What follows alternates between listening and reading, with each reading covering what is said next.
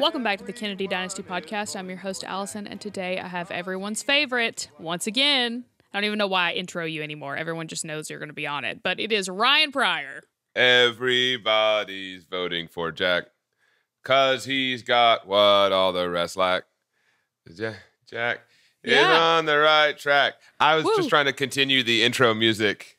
Oh, I thought what you were going to do was insert your name into that, and then I was like, let's not do that. But you I didn't. wasn't. No, I didn't. Why would I do that?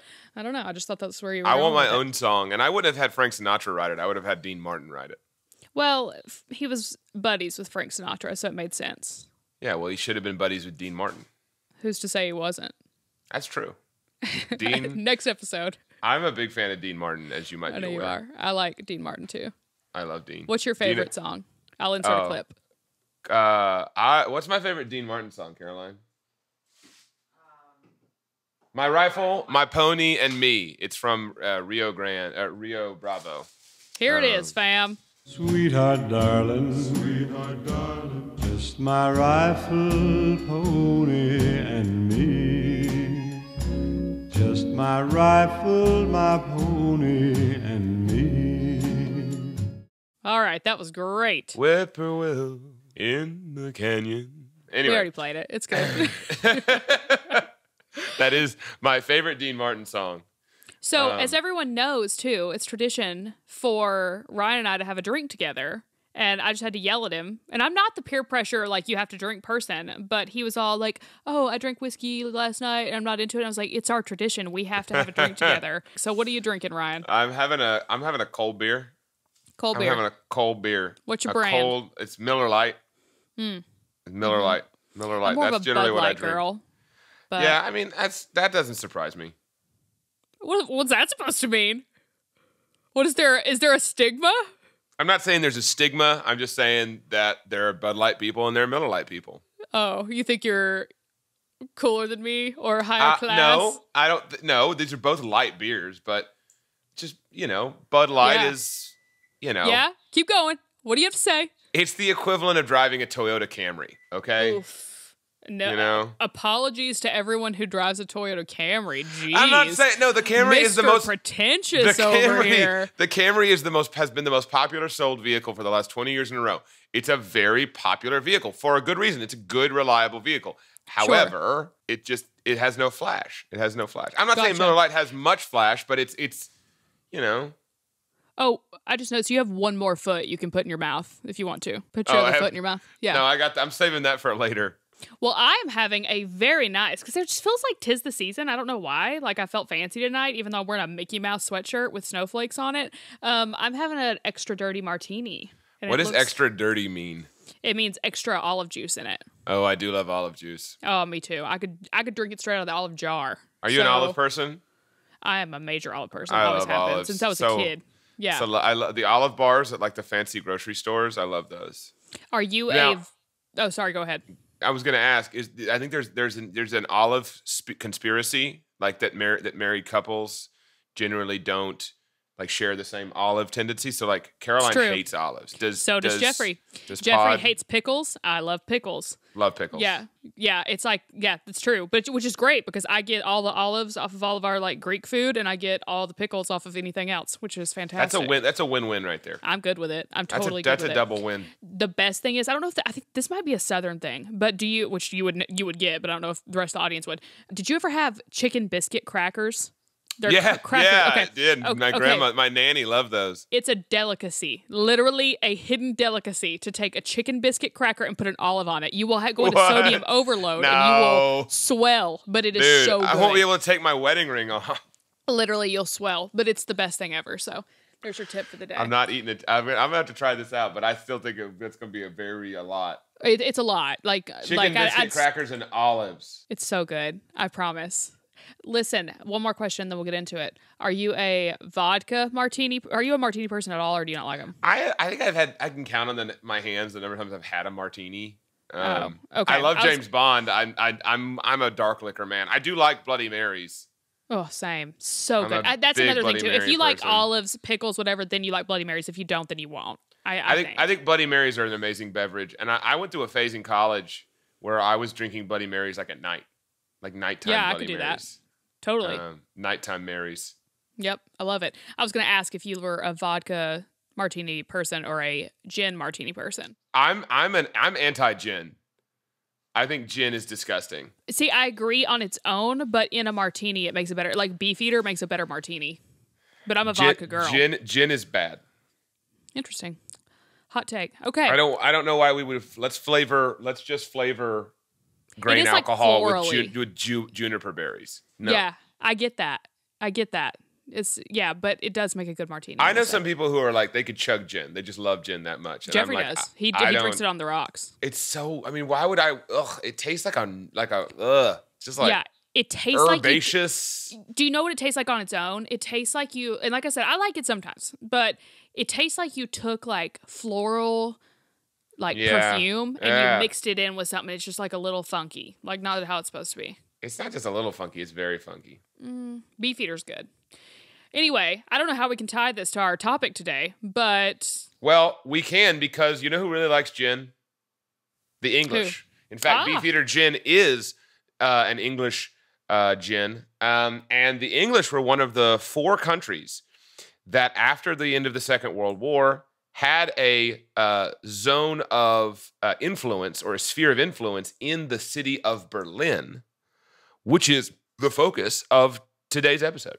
fantastic tie-in. I You're mean, welcome. impeccable. Thank you. Well, I'm excited Uh, to learn because I actually uh, don't know a lot about this topic, so I'm stoked. Teach me all well, the things. Well, it's not. It's not really one of the more. It's not an in depth. There's a lot of detail that we could go into, but of course, you know, we don't. It's not. This is not that podcast. This is not the. uh This is not um one of the other podcasts where they go into every little little detail. Um, this is a this is a podcast where we we you know we we we give history to the people who want to hear the who want to hear the history, but maybe who don't want to spend a thousand years learning about it. So Sure.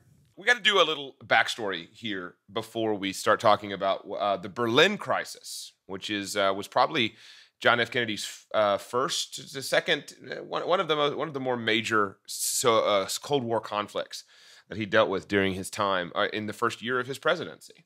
And so, we, before we get into the Berlin crisis of 1961, we have to have a prelude. Prelude. You always I got to do it. I got to pause. You got to do it. You got to have the prelude every time. and we got to talk about this thing called Potsdam. Okay, now I didn't curse there. Potsdam, You've talked about this Um, before, right? I have a little Okay, bit. I thought and so. then there's there's there's Potsdam and the Yalta Conference. These two conferences, these really at the end of the Second World War, between not the end, but right before the end, between Joseph Stalin, Winston Churchill, and the soon-to-be dead Franklin Delano Roosevelt, and then the second one um, was between was with Truman. And this is where these Allied leaders got together, and they basically were like, "Listen, we're going to win the war. Germany will be defeated. Hitler is running scared. How are we going to divide up the the post World War world?" Okay. And uh, their basic discussion about this country of Germany was that they would divide the country of Germany in twain. It's a great word, by the way, twain. Mm. And they would Mhm. also divide Berlin in twain, creating two sides a communist east and a capitalist west. The east would be controlled by the Soviet bloc, the Soviet Union, and the Warsaw Pact.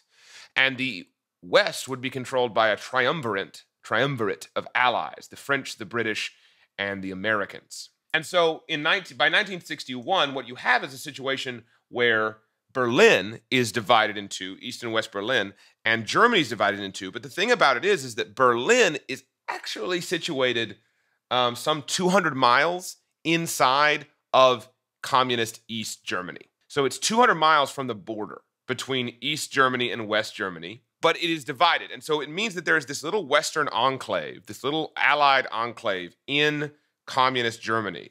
Sorry, yeah, communist Germany, which is also controlled by the Soviet Union.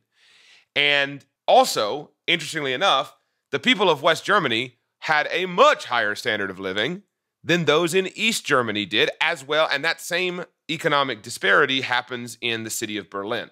I think I've exclaimed before my my my not love per se of capitalism, but my appreciation for it. And nowhere in the world at any time was there any greater example of why people did not want to live under communism than when it came to East and West Germany slash Berlin.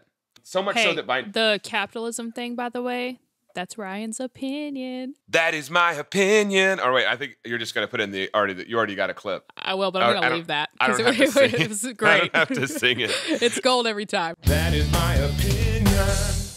Uh, by by 1961, four million people have either fled from East Berlin to West Berlin to try to live to to, to get a better life, or fled from East Germany to West Germany because again, standard of living was much lower in East Germany. And to this day, interestingly enough, if you go to to, to Berlin, I've never been to Berlin or haven't been to Berlin yet, but if you look at architecture and color and lamp posts uh, and light lighting systems in East and West Germany, you can still tell the difference when you look at a satellite satellite image because to this day the electrical like like infrastructure and the like buildings of East Berlin are inferior to those of West Berlin to this Wow. day. And the color dynamics are totally different. That's Um, nuts. It's crazy. And so East Germany was losing workers and economic potential. And so this led to a sort of a, a, a building or mounting tension betwixt the West and the East. You see, and the leader of Soviet Russia at the time, Nikita Khrushchev, was particularly worried about this growing imbalance between the two sides of Germany. That is how we find ourselves in June of 1961 when John Kennedy is traveling by plane to Vienna for a summit with the Soviet hierarchy. Now that is the that is that is where we are. Do you have any questions up to this point, Me? madam? Yeah, I think I'm good. I'm I'm trucking right along. you're trucking right along, Yep, trying to make your way. making my way. And Making so my this- way downtown, walking fast, faces passing. I'm And I'm homebound. homebound. And I need you.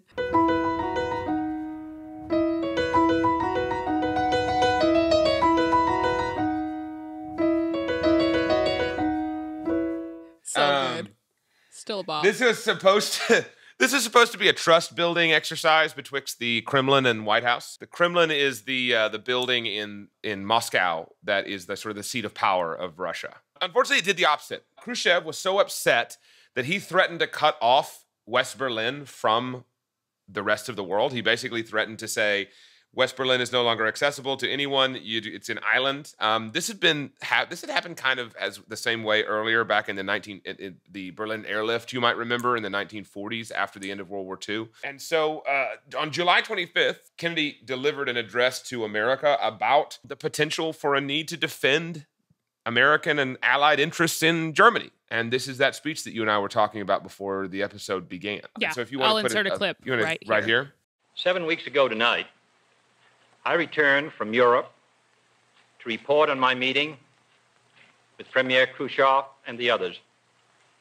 His grim warnings about the future of the world, his aide-memoire on Berlin, the subsequent speeches and threats which he and his agents have launched, and the increase in the Soviet military budget that he has announced have all prompted a series of decisions by the administration and a series of consultations with the members of the NATO organization.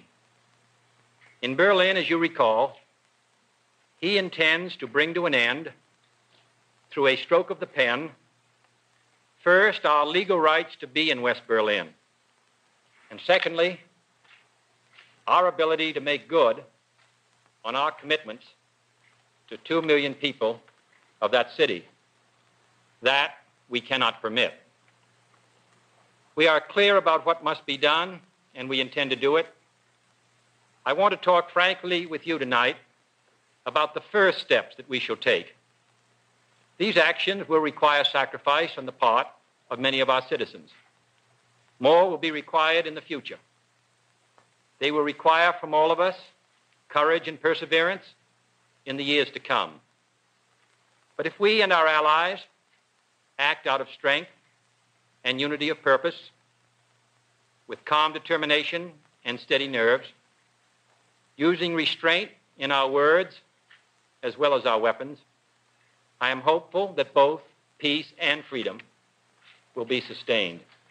So by August of 1961, again, this is not the first time, right, that you know the United States and, and has has under Kennedy has been en- engaging in international affairs, right? We've talked about the Bay of Pigs um, that had happened uh, just a little while earlier. Basically, tensions continued to, you know, escalate, um, fearing some fearing that it would turn into all-out war, but it didn't because on in August of 1961, one bright, dark German morning, uh, the sound of machinery and the sound of bulldozers and workmen began to fill the air of the streets of Berlin. And what the people of West Germany woke up to was the beginning of what would be known as the Berlin Wall. You all probably know about the Berlin Wall, otherwise sometimes referred to as the Iron Curtain. By the end of that day, a barbed wire fence had been erected separating Allied West Berlin and Communist East Berlin. In fact, as we're talking about, all of this planning had gone on, had been going on for quite some time. In fact, East German hierarchy of communists were really very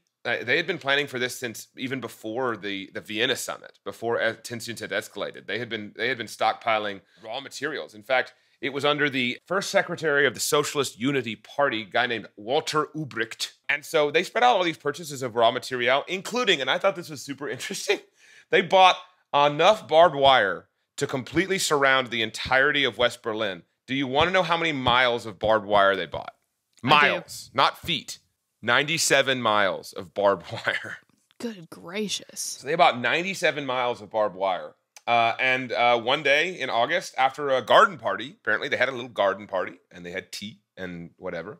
Uh, Ulbricht signed the order and began work. And this immediately caused Willy Brandt, who was very famously the mayor of West Berlin for a very long time, to get really upset. And he calls Kennedy and he says, Hey, you've got to do something about this. You've got to send troops. You've got to send something. And Kennedy had only been president for six months, seven months. And he was like, No, we're not going to do that. What he did do is he made the right decision because he called upon his uh, faithful servant, Lyndon Baines Johnson, and another guy by the name of Lucius Clay, and they were sent to Berlin to essentially calm the the Berliners, uh, the West Berliners, and say, "Hey, listen, you know, we are we're here for you, just not in person." Although they did send 1,500 American soldiers in their place, and also afterwards Kennedy did mobilize 148,000 National Guardsmen and soldiers as well, and sent over, I think, 250 some odd planes, is from, from what I remember reading, uh, mobilized a, a, particularly large portion of this of, of, the Air Corps. Over the course of the next couple of months, between August and October, there was some back and forth. There were some incidences where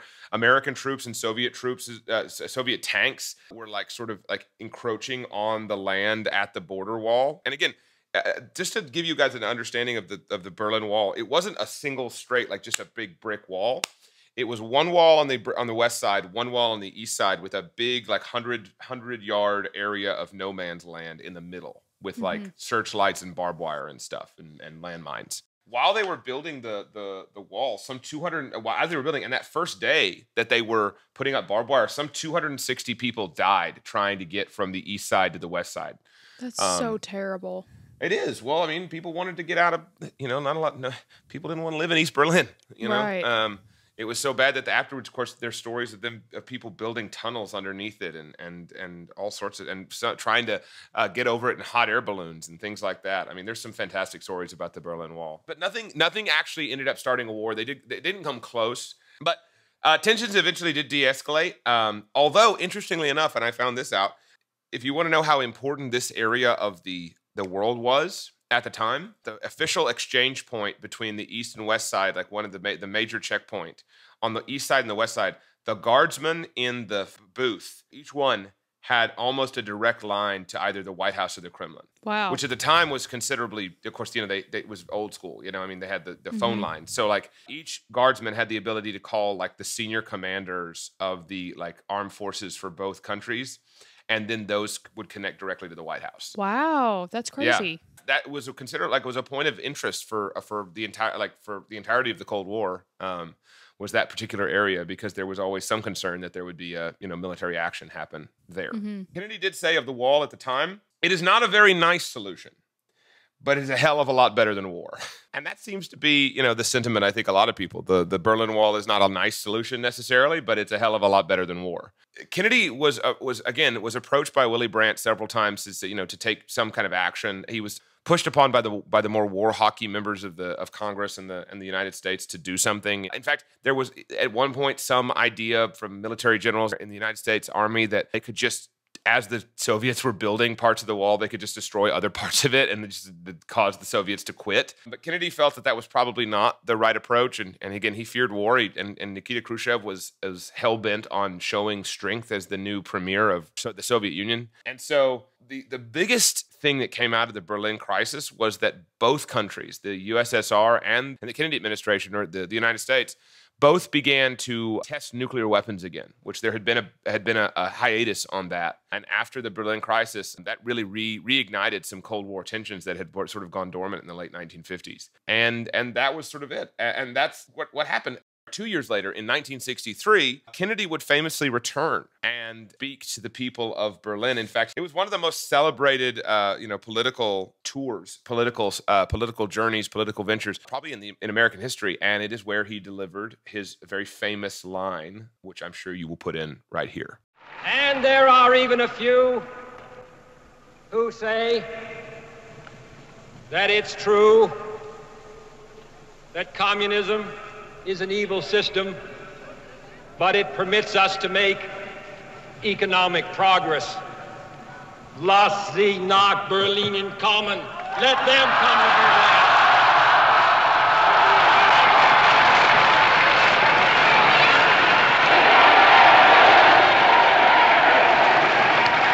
All, all free men, wherever they may live, are citizens of Berlin.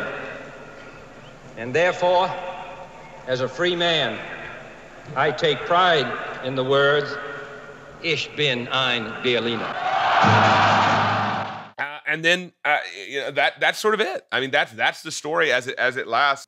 There's certainly much more to it, um, and we could certainly dig into some of the finer points of the Berlin Wall. But you know, this was Kennedy's second big test. It's probably second big test behind after Bay of Pigs as a as a negotiator. And uh, you know, it depends perception wise, like historically speaking, the Berlin Wall is probably one of the most fascinating things. I think people really tend to to focus on it because it's such a it was such a physical symbol of the difference between communism and capitalism. You know, the West and the and the East. But uh, at the end of the day, yeah, I think I like to defer to Kennedy's quote about it. It was not a very nice solution, but it was necessary for East Germany. East Germany uh, and, and the Soviets very much felt it was necessary because they were losing, you know, millions of, of citizens crossing the border, and uh, they they didn't want that to happen. anymore. They built a wall, uh, and it was a hell of a lot better than war, as far as I'm concerned. I agree. And thank you so much for bringing that today. I just learned so much about that. I always knew about this. Of course, I've studied basically every facet of Kennedy possible, but in increments and i feel like i learned a lot about the buildup of that famous speech so thank you so much for that i think and i think there's definitely more to be discussed here sure. i think and i, think I would love to even go farther into when it was torn down during reagan's yeah. administration things like that so I think there's a lot more. There's a lot more in the day to day. I'm sure that there are some incredible stories from what was going on inside the White House between August and October. Um, but I felt that it was a good idea to just go over the the main the main points of the crisis, and maybe we can. I think with a lot of our episodes, there's a lot of potential to go back and and look at more in depth. Sure. Um, I don't plan on any, stopping anytime soon, so we got plenty of time. and now I've got some questions for you. you got some questions for I, Yes, I put out a Q&A box and got some responses. Therefore, in answer to your question, a couple of them were from your wife. She asked, did you remember to get onions and heavy cream? This was yesterday. I did. I made lasagna soup for dinner last night, and so I okay. had to get onions and heavy cream. I'm gonna be honest. That sounds nasty.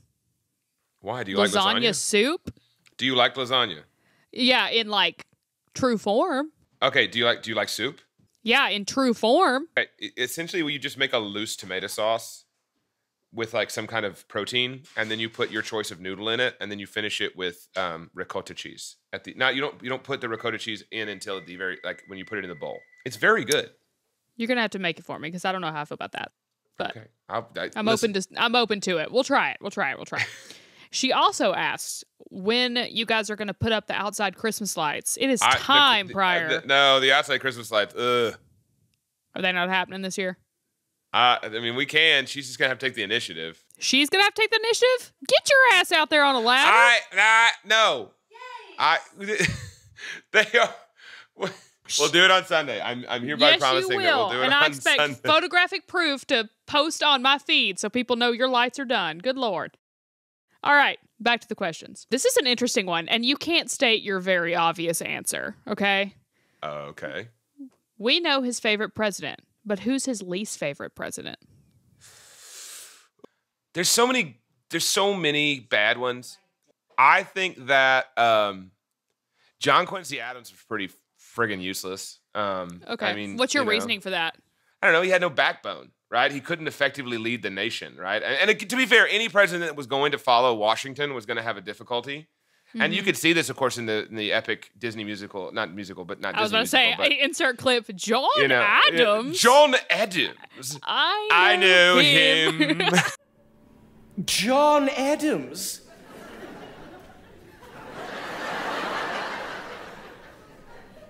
I know him. That can't be. That's that little guy who spoke to me all those years ago. What was it, 85? That poor man, they're going to eat him alive. yes. yes, yes, yes. oh, sorry, not John. Not, no, no, no. I, I didn't mean to say. It's John Adams, not John. yeah, not Quincy. Quincy. Adams. It's a Not different one. I got Quincy. what you I'm meant. sorry. Yeah, two different. Oh. We get it. Okay, well, actually, both the Adams. Honestly, screw him and screw his dad. Here's why. John Adams was a, a useless president, although again, you know, good for him for following Washington. That's the Hamilton John reference. Yeah. Adams. So good. So good. Uh, I love. Uh, who's the guy who plays him? Jonathan Groff. Jonathan Groff. I, that's his whole thing in in the Hamilton is my favorite part. And John Quincy Adams, I, interestingly enough, is the only president to not be elected because of by by popular by popular vote of the Electoral College. There was an electoral vote tie in the election of 1824. And do you know what happens whenever there's an electoral vote tie? The House of Representatives basically like votes on who becomes the president and they voted for him. And so, honestly, what a knob. But yeah, John Quincy Adams and his dad, screw both of them. Wow. I'm not I'm not a super fan. They- no, I mean like the obvious answers are the ones like who were who were useless. Like James Buchanan could have done more to prevent the Civil War, but he didn't. He he he basically like sat there for a year, which is like I can't wait till the next guy comes in here so I don't have to deal with this. Yeah. That is that is useless. Hu- Oh. Herbert Hoover. Hoover's whole laissez-faire approach to the, the Great Depression kind of sucks. I don't like that. I didn't like that. I think he's a I think he he goes down in history as being one of the worst presidents. I think uh, everyone would agree with that. I, w- I would agree. I would I would hope they would. But Ooh, what's your you know- like? ooh, top- you know, what's your number one? You got to give me one. Like, what is your least least favorite? That was your question. Um, I, you was know, it John Adams? You no, stick to that. No, I, I'm gonna I'm gonna say, um, I'm gonna say Woodrow Wilson, Okay. and the reason I'm gonna say Woodrow Wilson was because he was just such a virulent racist. Mm-hmm. Um, you know, like the fact is the matter because of because of Woodrow Wilson and his racism. The first movie ever shown in the White House was The Birth of a Nation. No, that's I, I don't like him a lot. I'm, if you're, it depends on the perception. Like as a human being, uh, Woodrow Wilson sucked. As a Yeah. president, he was fine. He was fine president. He established the Federal Reserve for God's sake. I mean, as far as like the individual, Woodrow Wilson, because he was who he was. I'm gonna say as far as individual Woodrow Wilson, and as far as policies, I'm gonna say as far as policies are concerned, it's a hard question. This is a real challenge for you. I love this question. Why is this hard for me? Um, if we're looking at hindsight, historical hindsight, yeah, it's gonna have to be Woodrow Wilson as an individual for being an absolute POS, and then yeah, Herbert Hoover for being for for dealing with the Great Depression the way that he did. There it is. Okay, next question. If you could meet one Kennedy, living or dead, who would it be? Ooh, I would want to meet. I'm gonna say this. This is uh this is gonna be an interesting statement. I would want to meet probably Jackie. Really? Uh, I thought you yeah. said Bobby. No, I I know. I I think Jackie was was pretty was pretty cool. Yeah. Well, I think that's all I've got. All right, Ryan. Well, thank you so much for joining me today. Once again, I'm sure you'll be back next month or the next or whenever if you will do it. That would be Yeah. amazing. Yeah, we'll have we'll have I actually have a really I have one that I want to do and I want to do it on the history of Wayfarer sunglasses or like Wayfarers. I don't know why. You know, the sunglasses, the very popular Yeah. Ray-Ban sunglasses that that And you that, want to uh, dive into that history? I don't know why. I love sunglasses. I'm, I'm a big for it. sunglasses fan. I thought Yeah. it might be a nice fun one. We normally do pretty academic stuff, but like, you know, doing something with about sunglasses, you know? Hell yeah. January. Here it comes. Well, follow me on Instagram at Kennedy Dynasty. Check out the link in the description of this episode for my merch shop. Last minute Christmas shopping, get it done for you because you deserve it, or for any Kennedy fans in your life. And if you like the episode and you like the podcast, please rate it five stars and write a positive written review. And please make sure that you are subscribed. That's all I got, and I'll talk to you guys next week. Come on and vote for Kennedy, vote for Kennedy.